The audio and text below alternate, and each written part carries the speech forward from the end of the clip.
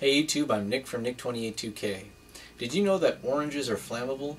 Sometimes when you peel an orange, you'll notice that there's a spray of liquid that comes off the peel. It's uh, orange oil. Orange oil gives uh, oranges, lemons, and limes their distinctive uh, citrus smell, and it gives the peel that very bitter taste. Orange oil is made mostly of limonene, which is a uh, hydrocarbon liquid. It's made only of hydrogen and carbon, and it's actually quite flammable.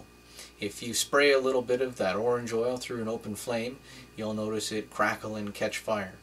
I've pulled out my high-speed video equipment and my close-up video equipment, and we're going to take a look at that. I've cut a small section of orange peel and I'm squeezing it. You can see that there's little jets of liquid that come out.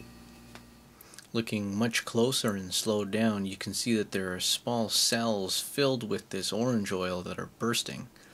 As they burst, the oil is squeezed out through the microscopic hole, uh, forming almost an aerosol of orange oil. This aerosolized orange oil is quite flammable.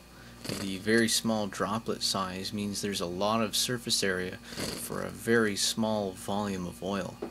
That means the oil can be heated up very effectively by the flame, in this case from a candle.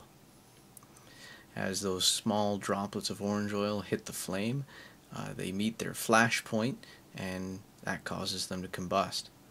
The flash point of orange oil is very low, only about 50 degrees Celsius, so even the small droplets that are blowing around uh, will get drawn back into the flame and combust even after the stream has stopped.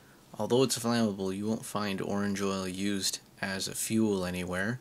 Uh, it's most commonly used in uh, pharmaceuticals, uh, it's used in some cosmetics. Uh, I encounter it most as a hand cleaner because it's pretty good at taking grease and grime off your hands. Working as an electrician, I have that problem quite a bit. It's also used in some adhesives uh, because it's a non-toxic alternative to uh, some of the other adhesives that are out there.